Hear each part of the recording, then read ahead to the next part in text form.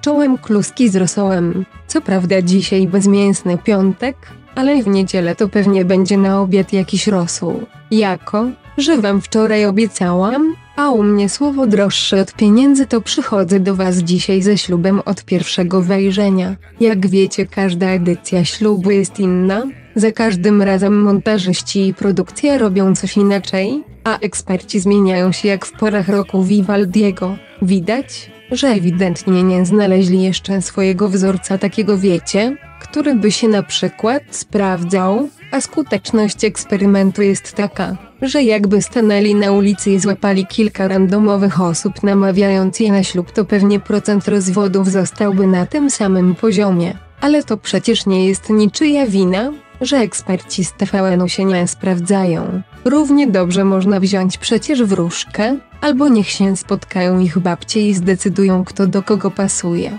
Babcie już swoje przeżyły i wiedzą najlepiej. Można też obsikać, niczym Justyna Teren, wszystkich feromonami, mógłby uczesać i ubrać ich profesjonalista, żeby chociaż te pierwsze wrażenie zrobili dobre. Ale produkcja woli eksperymentować tak bardziej z wycinaniem scen i liczbą odcinków. A ten sezon ma mieć ich podobno 13, szczęśliwa trzynastka. Chyba, że coś się zmieni, bo wiecie to są sprawy płynne. Być może ktoś z uczestników tym razem napisze coś kontrowersyjnego i go wytną i okaże się, że jeden z uczestników będzie miał małżonka lub małżonkę widmo. Bo skoro jest już psycholog widmo, to dlaczego komuś nie miałoby się wydawać, że widzi swojego męża czy żonę, podczas gdy nikt inny by go nie widział? Nawet takie filmy już były, Także nic nadzwyczajnego. Jak na razie na wycięcie najbardziej zdaje się narażać w tym sezonie Justyna, która jest nadal aktywna w mediach społecznościowych, często coś wrzuca, a ostatnio nawet chętnie odpowiada na pytania swoich fanów. Stąd też można było dowiedzieć się, że dziewczyna nie przepada za programową psycholog Magdaleną Chorzewską, która w tej edycji pomagała w jej małżeństwie. Justyna zdaje się być też najbardziej kontrowersyjną postacią tego sezonu. Nie pomaga jej zapewne fakt, że sama szefowa eksperckiego grona w tym sezonie, czyli Magdalena Chorzewska, zdaje się również skrajnie jej nie lubić. I tutaj pojawi się wśród widzów pytanie, dlaczego Chorzewska pozwoliła na sparowanie jej z Przemkiem, skoro ma do niej ewidentnie zarzuty, którym wyraża do kamery w niemalże każdym odcinku? I przede wszystkim dlaczego Chorzewska nie powie tego wszystkiego samej Justynie, Przemkowi, komukolwiek?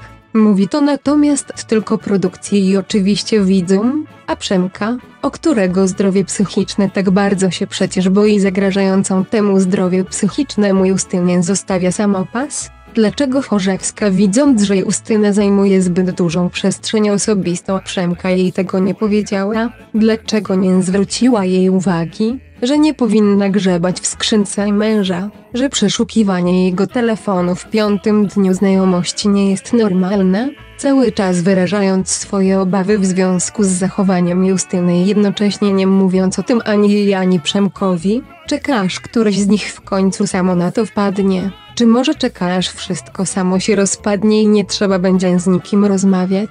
Co jakby trochę mija się z celem obecności psychologów w tym eksperymencie, bo to chyba miało być tak, że oni będą im pomagać zbudować relację z tą drugą osobą, albo chociaż ją zrozumieć. Tak mi się wydawało, ale wychodzi na to, że rolą Chorzewskiej jest obgadywanie uczestników za ich plecami i tym samym sabotowanie ich związku. Zresztą druga z pań psycholog radzi sobie w tym sezonie wcale nie lepiej, bo spotkała się z najgorzej dobraną od kilku sezonów parą, czyli Martą i Maciejem, którzy w rozmowie z nią wyraźnie zasugerowali, że totalnie nic z tego nie będzie, bo oni się sobie nie podobają, każde ich zachowanie ich od siebie odstrasza, a fizycznie to wręcz czują obrzydzenie na swój widok. Na co pani psycholog stwierdziła, że tak przecież nie można, bo muszą spędzić ze sobą jeszcze więcej czasu i przez ten cały czas muszą zrozumieć, dlaczego psychologowie akurat ich ze sobą sparowali. A oni tak bardzo skupili się na sobie, że im w ogóle nie interesują się w tym związku zdaniem psychologów i nawet nie próbują rozwikłać tej absorbującej zagadki. Normalnie kot Leonarda da Vinci edycja ślub od pierwszego wejrzenia. I zamiast tu siąść i powiedzieć słuchaj Maciek, trzeba było wyraźnie zaznaczyć jaką wizualnie chcesz laskę to byśmy wiedzieli, żeby cię w ogóle nie brać bo akurat nie mieliśmy długonogiej długowłosej niepalącej laski która na co dzień pogina w szpilkach i ma dużo różnych kurtek pasujących do stylizacji. W dodatku jest akurat w ciąży i na koniec sezonu okaże się, że to ty jesteś ojcem, a jej fetysz to usiejący starsi mężczyźni w dodatku o typie urody Jasia Fasoli. No i że przykro im, bo taka kandydatka jest ale rolnik szuka żony, a że ty Maciek nie jesteś rolnikiem, tylko kierowcą ciężarówki to nie spełniasz jej kryteriów i tutaj ta impreza się kończy. Także nie męczy już tej Marty i idźcie wszyscy w pokoju Chrystusa.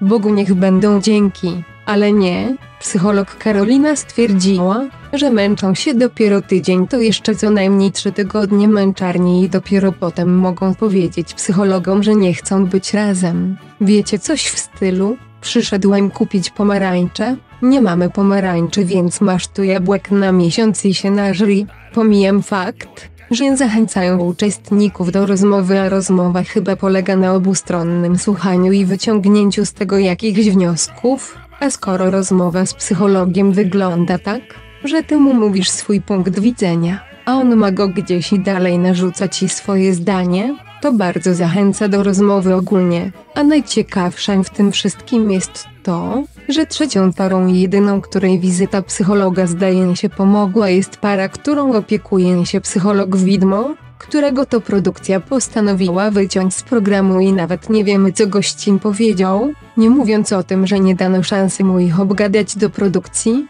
bo przecież udajemy, że on nie istnieje i Marcie i Patrykowi tylko się wydawało, że rozmawiali z psychologiem. Jednak ta wyimaginowana rozmowa zdaje się przyniosła najwięcej korzyści, bo psycholog widmo wyjaśnił Patrykowi jakie obawy ma Marta i co jej w jego zachowaniu nie pasuje i gość to wszystko wziął do siebie, a dziewczyna zdaje się być zachwycona. I para się dogaduje. No magia normalnie. Tak się gość przysłużył, że aż go wycięli. Jak myślicie, czy faktycznie w Polsce nie ma dostatecznie kompetentnych psychologów, którzy nie sabotowaliby dobieranych przez samych siebie małżeństw? Czy może nie powinni tego robić psychologowie? Tak czy inaczej na pewno nie zwiększy to ilości chętnych do wzięcia udziału w tym programie osób, a i tak wydaje się, że nie mają tam za bardzo w kim wybierać bo z edycji na edycję jest coraz mniej tych zgłoszeń. Dajcie znać w komentarzach jakie jest wasze zdanie na ten temat. Jutro film z Instagramami uczestników rolnika, a już dzisiaj życzę wam miłego weekendu. Bye bye.